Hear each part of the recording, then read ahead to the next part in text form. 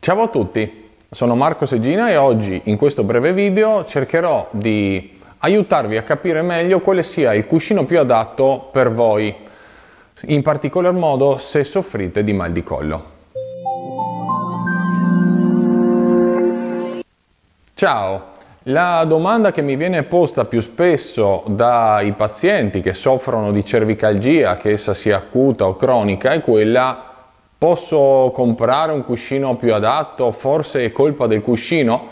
Beh, sulla responsabilità del cuscino sarò molto sintetico. Non credo che sia sempre il problema principale. Molto spesso, come ho già parlato nel caso delle lombalgie, le cause sono multifattoriali, quindi probabilmente un insieme di fattori che hanno portato a scatenare la sintomatologia di cui soffrite in questo determinato momento però il cuscino effettivamente può contribuire o positivamente o negativamente, quindi o boicottare la nostra guarigione, il nostro processo di autoriparazione dell'organismo, oppure quantomeno non incidere troppo negativamente o addirittura favorire leggermente il processo di riparazione o dare sollievo dai sintomi. Innanzitutto sarà il vostro fisioterapista a cui vi rivolgerete che analizzando la tipologia di eh, cervicalgia di cui soffrite andrà a identificare se ci siano o meno le indicazioni per un cuscino specifico. Io mi limiterò a darvi alcune indicazioni che possono andare bene per le classiche cervicalgie meccaniche, quelle magari legate alla postura lavorativa troppo tempo sedentaria, col capo protruso, quindi con capo leggermente protruso o flesso per molte ore della giornata eh, che dovrebbero darvi sollievo o almeno aiutarvi a conciliare il sonno, aiutare il sonno nelle fasi iniziali.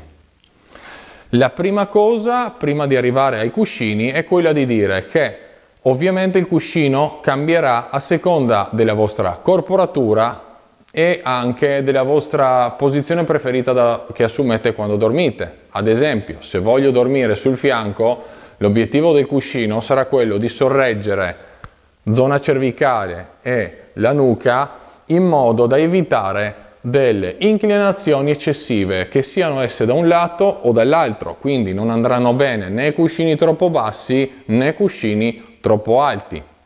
Per quanto riguarda, riguarda invece la posizione supina, quando dormiamo supini dovremmo cercare di trovare un cuscino che ci permetta di mantenere nuca, quindi l'occipite, la parte posteriore della nuca e il tronco su una linea retta. Quindi eviteremo magari cuscini troppo spessi che ci fanno stare molte ore in questa posizione qua. E poi un qualcosa che sostenga in maniera eh, specifica la zona cervicale. Molto spesso in commercio si trovano dei semplici cilindri così che possono essere eh, in gomma piuma o più eh, evoluti tipo in memory foam oppure potete trovare dei ausili come questi che si usano anche per fare gli esercizi. Io qualche volta suggerisco di provare a iniziare con un asciugamano rotolato in modo da provare a modulare lo spessore il diametro di questo asciugamano per trovare quello che dà più sollievo. Quindi, se andiamo a dormire da supini,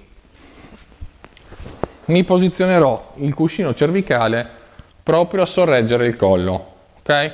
Questa è la posizione che andremo ad assumere. Ovvio che se di partenza la mia postura sarà particolarmente, particolarmente protrusa, cifotica, quindi nelle persone anziane nelle persone che sono dotate di un'ipercifosi dorsale e quindi con il capo già di partenza protruso, che non riescono a rettilinizzarsi e essere belle dritte, sarà utile usare un cuscino con l'aggiunta di un rotolo cervicale. Lo spessore di questo cuscino dovrà essere eh, quello che voi andrete a identificare semplicemente provando a mettervi in piedi con la schiena contro una parete e a stare belli dritti. Se non riuscite a stare dritti, a toccare con l'occipite, il bacino e la zona dorsale contro il muro, allora vuol dire che avete una leggera ipercifosi e dovrete misurare, ad esempio con le dita, lo spessore di questa distanza quando voi cercate di stare belli eretti, perché altrimenti rischiamo di andare a cercare di toccare con l'occipite eh, la parete per provare quindi a, a mantenere il contatto di tutti e tre i punti, però portando in iperestensione la zona cervicale e con la classica sensazione di non riuscire a respirare bene, quindi di soffocamento. Queste brevi indicazioni si propongono semplicemente di darvi prima, uno primo spunto, di poter fare alcuni test, alcune prove per dar sollievo al vostro problema. Non si vogliono assolutamente sostituire a quelli che possono essere i consigli di clinici esperti. Pertanto vi suggerisco di provare e di farmi sapere nei commenti cosa ne pensate. E buona serata!